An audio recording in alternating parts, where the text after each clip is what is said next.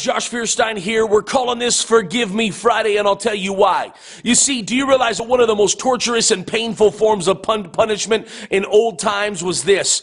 If you had committed a horrific and a heinous crime and they wanted to really, really, really make you pay for it before they killed you, well, what they would actually do was they would chain you, they would handcuff you to a dead corpse. And being that you were handcuffed to a dead corpse where the flesh was rotting away, it begins to stink. The bacteria and the maggots begin to eat away at that carcass that you're dragging along. Well, the bacteria doesn't just stay in the dead body, it would actually begin to creep onto yours. And then not just onto yours, but into you. And eventually you would die a slow, rotting, and painful death because you were dragging around something that was dead. You were handcuffed to it. You were chained to it. Well, guess what? There's some of us that, that have not been able to let go of relationships and hurts and wrongs and things and pains from our past. And what we've been doing is we've been dragging them around. And, and the unforgiveness and the bitterness and the things that we've been holding inside will slowly by surely it's killing us.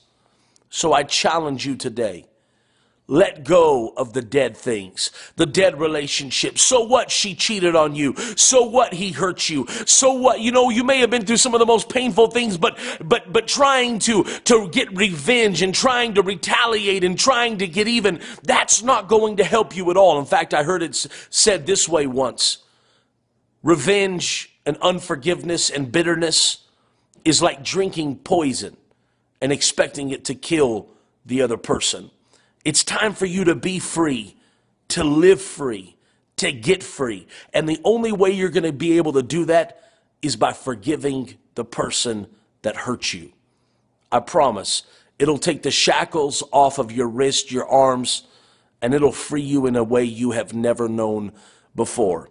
God bless you guys. Shout out to Forgiven Love and their clothing line. I love the message behind what you guys are doing. This is Forgive Me Friday. Shout out to Emmanuel Hightower. As always, this message is taken around the world by precious people like you.